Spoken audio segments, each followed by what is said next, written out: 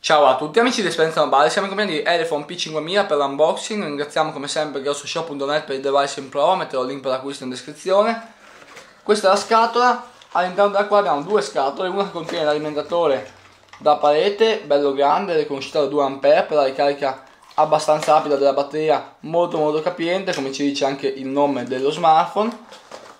E in quest'altra scatola invece abbiamo il telefono con i vari accessori. Andiamo a mettere via il resto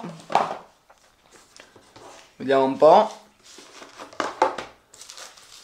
questo è il telefono in colorazione nera poi abbiamo questa scatolina dove troviamo il cavetto USB micro USB e questo simpatico accessorio che non è altro che un cavo diciamo non è un cavo ma chiamiamolo cavo OTG perché appunto è un piccolo androidino vedete si può anche fare da portachiavi c'è un foro per il laccetto quindi molto utile e portatile.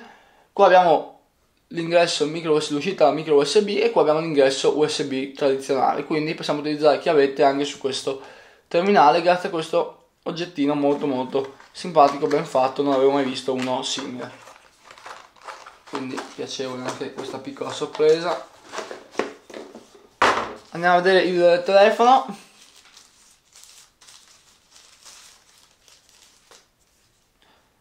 Ah sì, oltre a questo non l'ho detto, ma c'è anche una pellicola nella confezione. Pellicola che tra l'altro è pre-applicata anche sul terminale, quindi due pellicole in totale, cosa per me è molto molto buona. Vediamo che si accenda, parliamo di dimensioni 14.4 cm, 7 di larghezza, uno spessore di 9.3 mm, quindi bello citottello e anche pesante perché pesa 206 grammi, ma qua è tutto spiegato sia lo spessore che il peso dalla batteria perché la batteria è una 5350 mAh, quindi una batteria veramente enorme. Vediamo se si può aprire qua dietro per mostrarvela. Eccola qua. Cioè praticamente abbiamo una power bank inserita all'interno del, del terminale.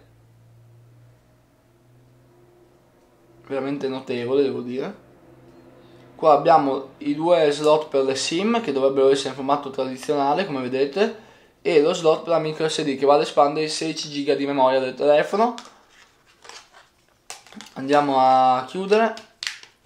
Intanto dico che la, la, il telefono come design mi piace perché forse sembra un po' anonimo però in realtà dal vivo secondo me ha un suo carattere. Belle le cornici che sono di un eh, grigio leggermente opaco come anche il retro che è nero opaco e tra l'altro non mi sembra trattenere molte ditate questo per me è molto molto importante. Logo Elephone anche questo è abbastanza carino. Mi ricorda un po' il logo dei Transformers se non vado errato quindi Piacevole, lato destro accensione di spegnimento blocco sblocco, parte alta ingresso micro USB e jack da 3,5 per le cuffie, pulito, parte, ba parte bassa abbiamo due casse stereo in teoria, staremo a vedere poi utilizzandole e il primo microfono. Ok. Allora, riprende un po' ovviamente il design, ovviamente si vede subito il design di qualche Samsung, quindi tasto centrale identico, multitasking, anzi qua fa da opzioni, e indietro poi magari tenendo premuto. No vabbè vedremo. Fluidità boh non posso dire niente ancora però sembra discreta. Android 4.4.2 KitKat abbiamo un display a 5 pollici Full HD IPS il processore è un MediaTek octa-core da 1.7 GHz però non so ancora se, se 64 bit, però giudicare dalla GPU che è la Mali MP450 potrebbe essere anche il vecchio, tra virgolette, processore octa-core di MediaTek con 2 di RAM e 16 di memoria espandibili. La fotocamera è una 16 megapixel autofocus flash LED e 8 megapixel quella anteriore. La batteria, come ho detto, è 5350 mAh, quindi mi aspetto molto da questa, questa batteria. Cambiamo sfondo perché non lo posso vedere, scusatemi un attimo. Mettiamone uno a caso giusto per cambiarlo. Ok già meglio. Il display sembra discreto gli angoli di visione vi dico subito che sono ok. Abbiamo il sensore per le impronte digitali qua. Abbiamo anche l'NFC come vedete vediamo un po' se trovo ok printing printing ecco finger scanner. Vediamo subito come funziona se funziona.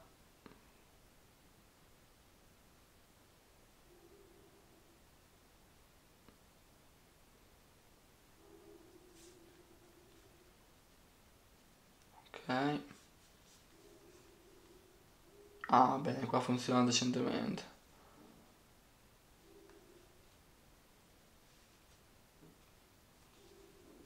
Adesso ci sta registrando le varie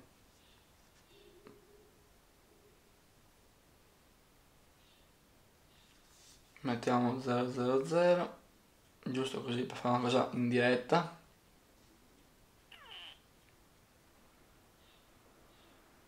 Ok. Slide. Vediamo